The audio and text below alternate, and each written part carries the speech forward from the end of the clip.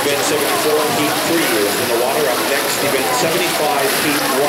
This is the final call for event 75. The girls 10 under 50 backstroke. First call, event 76. Boys 10 under 50 back.